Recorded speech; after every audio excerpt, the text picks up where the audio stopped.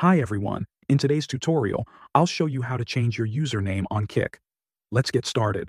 First, open your browser and go to kick.com. Make sure you're signed into your account.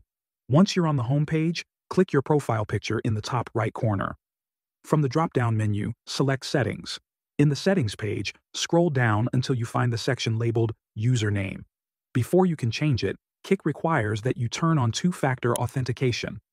Click on Enable Two-Factor Authentication. Kick will now show you a special code made up of random characters. Copy that code. Next, open the Google Authenticator extension from the Chrome Web Store. If you don't have it yet, install it first. Inside the extension, choose the option to add an account manually.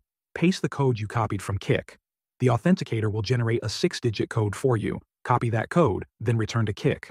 Paste the six-digit code into the field provided and click Verify. This completes your two-factor setup. Now you can change your username. Go back to the username section, type in your new name, and click Save Changes. Kick will confirm that your username has been updated, and that's all you need to do. Thanks for watching.